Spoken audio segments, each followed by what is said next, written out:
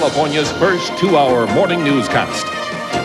Carlos Amezcua, Barbara Beck, Mark Kriski with traffic and weather. KTLA Morning News. Well, if you're a fan of music trivia, Eric Spillman is going to take us on a tour of some of the local places that inspired rock's greatest hits. like another perfect day. I love LA.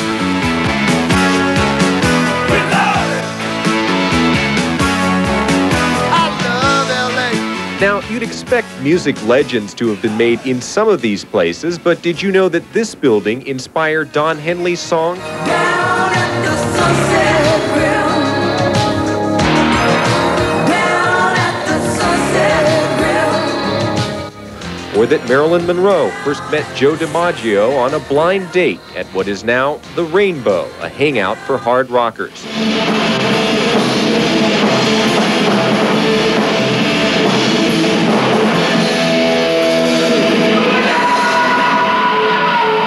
I had a chance to hear some of these stories firsthand. They're found in Art Fein's new book, The LA Musical History Tour.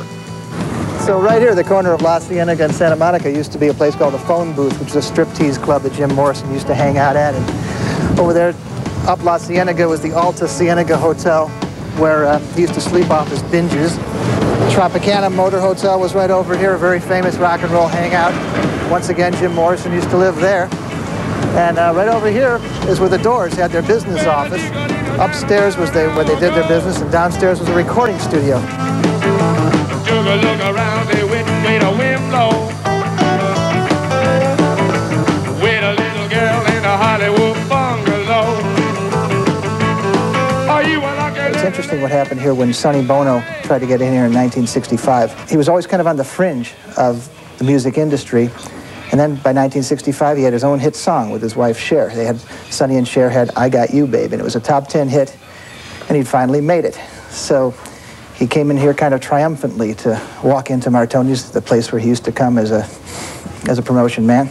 And he went to the door, and they wouldn't let him in because he was wearing, uh, I think, a fur vest and striped bell bottoms, and he had a Prince Valiant haircut. And uh, they refused him entrance. So it just didn't uh, match up with their dress code. The uh, centerfold newsstand here uh, on, on Fairfax uh, was where Slash from Guns N' Roses worked in 1966. Um, he was just another clerk, just like they have there now, but uh, I guess he did too much of the band business on company time. The owners offered to put him in his own phone line if he wanted to do so much band business, but I don't think they were serious, and they just let him go.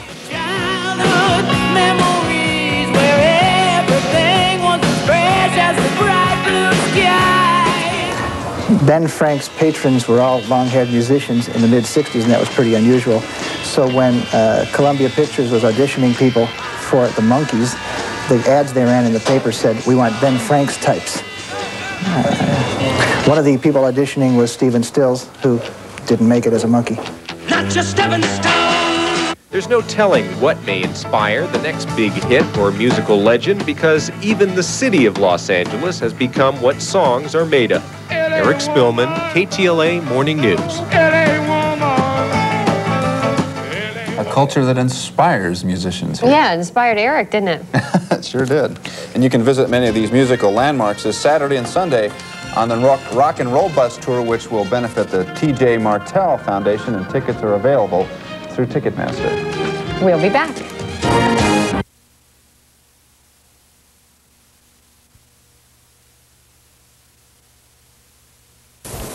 Hello, I'm Kim DeVore. Good evening, everyone. I'm Ross Becker. Before we leave you tonight, a little bit of uh, rock and roll from heavy metal watering holes to legendary radio stations. There is one man who knows just where to go to find a piece of rock and roll history. News 13's Rich Proctor takes a walk with the guy who knows where all these hidden treasures are. Meet Mr. Rock and Roll himself. Uh, hi, I'm Art Fein, and uh, welcome to my rock and roll tour of Hollywood. Hey, why shouldn't Art do the definitive rock tour of LA? He wrote the book on the subject, which led to this map, and this weekend he'll be heading up the Tanqueray sponsored tour. It's going to take place Saturday and Sunday, starting out at Tower Records. We're going to drive around uh, rock and roll historical sites of Los Angeles. Uh, it's 10 bucks a ticket, and the money goes to the T.J. Martell Charity Foundation. It's a record industry uh, associated leukemia foundation. Sounds like a real good cause, and it's going to be a lot of fun. Being the affable rock on tour that he is, Art gave me a personal pedestrian preview of this weekend's joint. Come on. Well, the Rainbow right here is uh, something uh, sort of unique to LA. It's a traditional heavy metal place. In other words, for 15 years, it's been a watering hole for all the hard rockers. And the whole go-go craze started because of this place. And that was an accident. I don't know if you know that story, but uh, Johnny Rivers was the house band, and he'd play on stage, and they had a little cage set up over inside for the girl to play records. But she liked the music while he was playing, so she started dancing. And people thought that was girls in cages. what a great idea. It caught on. And finally, tell me about this place. Well, it's a Jack in the Box now, but it used to be Scrivner's Drive-In in the 50s. Uh, disc jockey Art Laboe held forth here on a radio station after after school at 3 o'clock in the afternoon. Everybody came by here. Ricky Nelson, Jackie Wilson, I mean, uh, Fats Domino, you name it. He interviewed everybody at this place. So the next time you have a beef fajita sandwich here, remember you are treading on sacred rock and roll territory.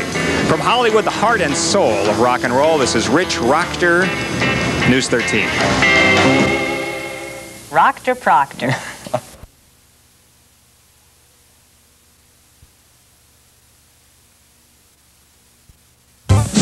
This is Prime 9 News at 10.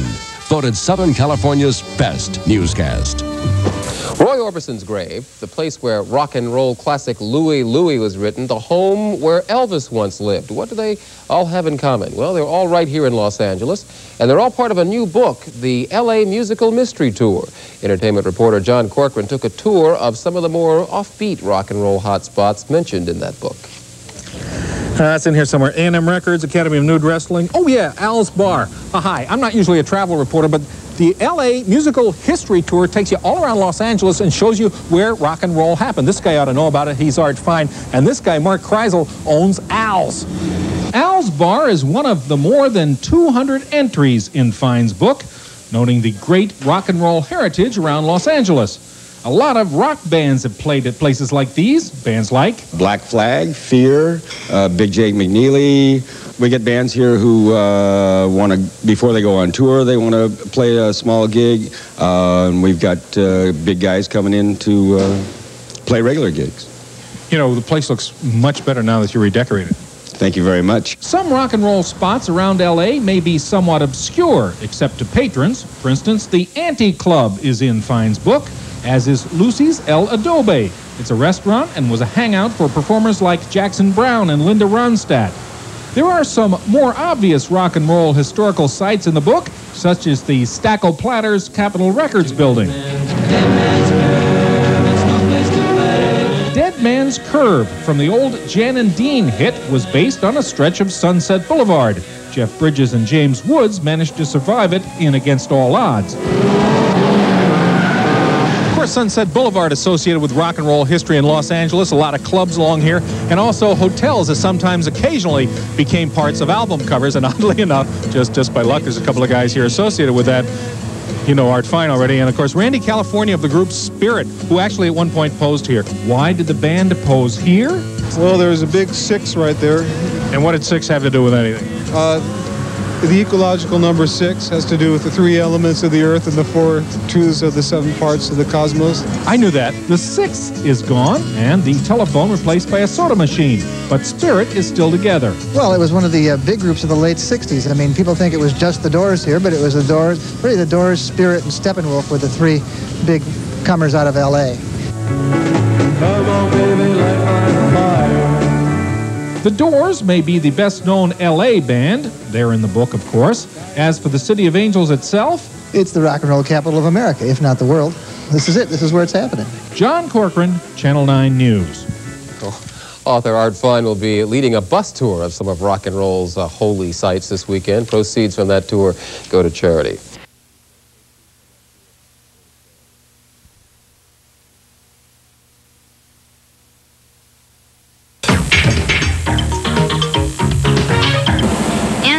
And here rock and roll tour. Music expert Art Fein is joined by one half of Loggins and Messina. On your left, when we turn the corner, is the Troubadour, which is now a primarily a hard rock club, but it was a folk place in the 60s. Uh, Jim, did Poco play here? Poco played here. Uh, Loggins Messina played Loggins, here. Messina, and Poco played. Linda Ronstadt. How many here have this album? Trini Lopez live at PJ's. Okay, show of hands. Everybody's got it. Great. 100% of the people have this album. It was done right here at PJ's. Now kind of chopped up into a bunch of little places. I'm Cindy Hom for E! Entertainment News.